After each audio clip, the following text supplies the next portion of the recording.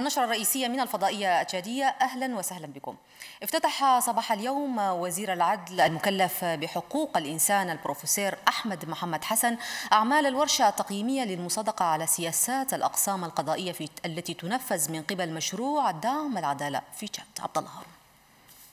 يعتبر مبدأ استغلال القضاء من الضمانات الأساسية للمحكمة. وعلى هذا الأساس جاءت المرحلة الثانية من مشروع دعم العدالة في تشاد وذلك للمصادقة على سياسات الأقسام القضائية. وعليه فقد تحدث منسق المشروع عيسى توم إلى أهمية الورشة والعمل على تطوير قواعد سلوك المحنة القضائية التي من واجبها النظر في القضايا التي تأخذ طابعا قضائيا.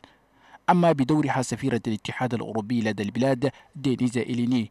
أشادت بدور القضاة التشاديين وقالت إن توفير الأمن القضائي لا يأتي إلا بتأهيل القضاة وتحقيق البيئة الملائمة التي تبنى على النزاهة والاستقامة القضائية بالإضافة إلى تحقيق العدل بين مكونات المجتمع. وزير العدل المكلف بحقوق الإنسان البروفيسور أحمد محمد حسن أثنى على الخبراء الفنيين والماليين على دعمهم المتواصل لتنفيذ المشاريع القضائية وأكد خلال الورشة سيناقش المشاركون سبل تطوير قواعد سلوك القضاء وتطبيقها على أرض الواقع وما تحتويه من حقوق وواجبات واحترام حقوق الإنسان. يذكر بأن مشروع دعم العدالة في تشاد يعمل على تنفيذ العديد من الأنشطة الحادثة ورفع القدرات القضائية وتطبيق القوانين المعمول بها. وإلى أعمال ورشة المراقبة حول مشروع اتفاقية التعاون في مجال الخدمات الجوية بين تشاد وفرنسا والتي نظمتها هيئة الطيران المدني بحضور الوفد الفرنسي أحمد ياسين. إن العلاقات التشادية الفرنسية علاقات متينة منذ قديم الزمان لذا تشهد تطورا في شتى المجالات سيما تبادل الخبرات في مجال الطيران المدني والملاحة الجوية. هذه الورشة التفكرية حول مشروع اتفاقية التعاون الخدمي بين تشاد وفرنسا لتطوير الملاحة الجوية والنقل والشحن الجوي وتحديث القوانين السابقة لتواكب المستجدات المستحدثة في مجال خدمات الطيران المدنية حيث تناقش الورشة قوانين الملاحة الجوية وقوانين الضرائب والتصاريح التي تمنح للمؤسسات ووكالة السفر والنقل الجوي. ندخل في ال accord ده كل ال clauses دول اللي يخص sécurité aérienne sécurité aérienne كل زنا concurrence عشان ال accord ده يكون accord moderne ويسهل لشركات النقل بين تشاد وفرنسا يشتغلوا في في accord ده. يسهل لهم النقل الحرام ويسهل العلاقات بين تشاد وفرنسا عشان العلاقات تكون علاقات هي قد تكون في كادر اكور أنا أنا أكور مونديال من جانبه رئيس الوفد الفرنسي تناول عمق العلاقات التاريخية بين البلدين وأن الخطوط الجوية الفرنسية تعتبر جسرا جويا يربط بين تشاد وفرنسا لتسهيل حركة التبادل التجاري وتنشيط السياحة وتقديم خدمات أخرى لصالح الشعبين الفرنسي والتشادي ونشير بأن هذه الاتفاقية المبرمة بين البلاد وفرنسا مضى عليها 54 عاما منذ عام 1963 وحتى عام 2017 كما افتتحت أعمال الورشة الوطنية للمصادقة على الاستراتيجية الوطنية للحملة ضد التغير المناخي في تشاد والتي نظمتها وزارة البيئة والصيد حيث ترأست فعاليات افتتاح الورشة الأمين العام النائبة بوزارة البيئة سعدية عثمان بحضور عدد من المهتمين بمجال البيئة وشركاء البلاد وإلى جانب ممثل الاتحاد الأوروبي بتشاد. عز الدين الأمين. إن المصادقة على الاستراتيجية الوطنية للحملة ضد التغير المناخي في جاد تأتي في الوقت الذي اختتمت فيه الحكومة وشركائها الفنيين والماليين والتقنيين إجراءات وضع دراسة تمويل الخطة الوطنية للتنمية في الفترة من العام 2017 إلى العام 2021 والتي يتضمن الجزء الرابع منها تحسين حياة السكان مع تركيز الأولوية للرعاة والمزارعين. منسق مشروع باراسات النشط في المجال البيئي أبا بنية لدى مداخلته خلال أعمال الورشة قال إن من آثار التغير المناخي هو هجرة الشباب من الريف إلى المدن إزاء المجاعة وسوء التغذية وتعرية التربة ما يفقدها الخصوبة اللازمة.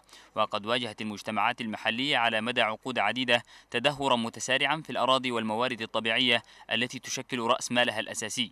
وقال إن وزارة البيئة عليها الاعتماد على السياسة الجديدة المتعلقة بالحقائق البيئية وأن القياديين والمزارعين والمجتمع عموما يلعبون دورا بارزا في مجال مكافحة التغير المناخي. مدير القسم السياسي ومندوب الاتحاد الأوروبي بجات ويم شارل كينز قال إن هدف الاتحاد الأوروبي هو مساعدة البلدان الأفريقية للتغلب على التغير المناخي وذكر بأن مؤتمر باريس حول التغير المناخي أوصى بقرارات هامة من شأنها الحد من ظاهرة التغير المناخي ونوه بالخطوات التي قطعتها تشاد في هذا المجال بفضل مجهود القطاعات المعنية والخبراء. الأمينة العامة النائبة بوزارة البيئة والصيد سعدية عثمان دابا لدى كلمتها الافتتاحية لأعمال الورشة أعربت عن عميق امتنانها للشركاء والمنظمات غير الحكومية التي مولت الأعمال الفنية والزراعية والرعوية وإدارة الموارد الطبيعية من أجل مكافحة التغير المناخي. وقالت إن الهدف من المصادقة على الاستراتيجية الوطنية هو توجيه المبادرات السياسية والمؤسسية والفنية والمالية من أجل التصدي لهذه الظاهرة الكونية. هذا وتستمر فعاليات هذه الورشة لمدة يومين يعكف من خلالها المشاركين على استكمال كافة التفاصيل المتعلقة بال كما وصلنا هذا الخبر الأليم حيث تم تشييع جثمان الفقيد بشارة شريف دوسة بمقبرة لماجي وسط حضور عدد كبير من أهالي وأصدقاء الفقيد. عباس أبكر هكذا هي الحياة. توفي الفقيد بشارة شريف دوسة بدولة تونس العربية وذلك إثر مرض قصير علم به ولم يمهله الحياة وكان من مواليد مدينة إريبا. البالغ من العمر 61 عاما حيث بدأ مراحله التعليمية بمدينة إريبا وبيلتن وواصل دراسته الجامعية بدولة ألمانيا. وعقب رجوعه إلى البلاد شغل عدة مناصب في الدولة أبرزها وزارة المالية والاقتصاد حيث استطاع تسيير الوزارة بصورة جيدة في حينه. أثناء مراسم التأبين فقد شهد له الأصدقاء بأنه رجل يتعامل مع الجميع. فلان ده قبيلته شنو؟ وده قبيلته شنو؟ كلنا كنا عارفين نفسنا ده أولادنا بلد واحد. الصغير ده الكبير بس بآونا وبشارة في دراسته ده أنينا صحيح قرينا سوا لكن إنسان مجتهد. ما نقول لك إلا قرينا بس قراية أنينا كله كدنا قاعدين سوا. لأن في أبشي نمشي نلعب كورة كله سوا في السبعينات. 1977 ده أنا خلت جيت قاعد نخدم في مستر في نصر بشارة وقت الجا كلها أنا زي ما قلت لكم ده الكبير ده بوجود لسه خير وقت الجا انتجرات حقا دوسها كله برسك سوينا سوا وخدمنا. والله خدمنا قد ما لحد وقت القايت وزارة أنا أنا أنا أنا القلتير كلها بجي في أشياء وهجم بسالني وأنا سعيد لأن أنا في المالية كان قبالة ونعرف أشياء كثير وبعد أداء صلاة الجنازة شيع جثمانه إلى مثواه الأخير بمقبرة لاماجي وذلك بحضور عدد من الأصدقاء والأقرباء.